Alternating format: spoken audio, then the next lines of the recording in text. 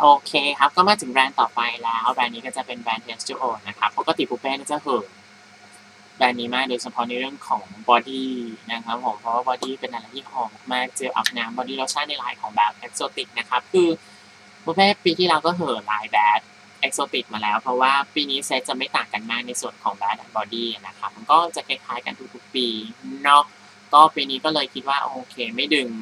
ชุด body มาแนะนำละกันเพราะยังไงปูเป้ก็แนะนำ body มาทุกปีอยู่แล้วนะครับปีนี้ก็เลยจะหันมาแนะนำ skincare บ้างละกันเนาะเอาปูเป้เลือกเซตนี้ขึ้นมาครับก็จะเป็นตัว Oasis Ultimate Hydrating Collection นะครับเพราะว่าแน่นอนความชุ่มชื้นเป็นสิ่งที่ H2O ค่อนข้างที่จะเด่นอยู่แล้วนะครับ แล้วก็ความชุ่มชื้นเป็นสิ่งที่ทุกคนต้องการนะแล้วชุดนี้นะครับก็จะราคาประมาณ 5,000กว่าบาทจำไม่ได้ว่าเท่าไหร่เนาะ value ค่อนข้างสูงเพราะว่ามีผลิตภัณฑ์ไซส์เต็มถึง 3 ชิ้นเลยนะครับ นั่นก็คือจะมีตัวเอ่อ ultra hydrator นี่จะเป็นตัว moisturizer สำหรับผิวที่ค่อนข้างแห้งนิดนึงนะครับอ่าแล้วก็จะมีเป็นตัว booster อันนี้เห็นไหมว่ามี 2 เฟส ส่วนที่เป็นสีใสข้างบนกับที่เป็นน้ำข้างล่างนะครับ ตอนใช้ก็ต้องขย่าเข้าด้วยกันก่อนเนาะ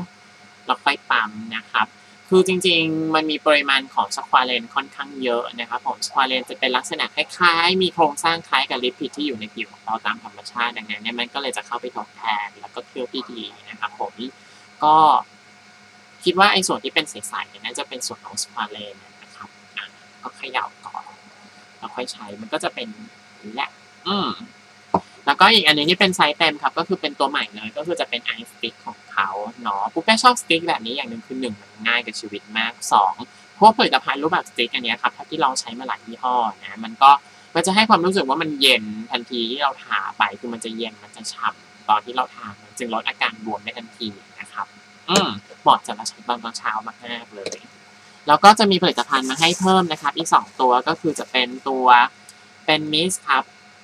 แล้วซึ่งมันเป็นขนาดพกพาซึ่งสามารถใส่ไปในกระเป๋าได้พ่นในระหว่างวันให้ความสดชื่นนะครับ แล้วก็จะเป็นเคลนเซอร์ครึ่งหนึ่งของขนาดเต็มมาพร้อมกับกระเป๋าเช่นเคยต้องมาพร้อมกับกระเป๋าเท่านั้นนะครับผมก็เป็นอีกชุดหนึ่งที่น่าสนใจนะครับ แล้วก็น่าจะใช้ได้กับหลายสภาพผิวเนาะอืม มีอะไรที่น่าสนใจใน H2O Plus ไหม มีเพิ่งลงรีวิวไปนะครับตัว Total Source ยังไงก็แวะลงไปอ่านรีวิวกันได้ คือจริงๆแล้วตัวรีวิวอันนั้นไม่ได้บอกไปนะครับ แต่แอบบอกนิดนึงว่าเอ่อ H2O Plus เนี่ยถ้าเกิดใครเป็นแฟนหรือคนที่ใช้ผลิตภัณฑ์ของเขาไม่อยู่หรือสังเกตนิดนึงนะครับเขามีการปรับภาพลักษณ์ของแบรนด์แบบตุ้มทั้งหมดเลยนะเออนั่นเพราะว่านะครับมันมีการควบกิจการนะครับของ Polar Orbis เป็นเครือที่ค่อนข้างใหญ่ของญี่ปุ่นทีเดียวนะครับ อพอมีการควบกิจการสูตรเดิมๆ ก็ยังอยู่ทั้งหมดนะครับ ปรับแพ็กเกจปรับภาพลักษณ์